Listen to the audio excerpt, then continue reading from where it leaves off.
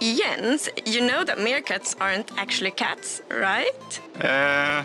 Jens, everyone knows that meerkats are part of the mongoose family.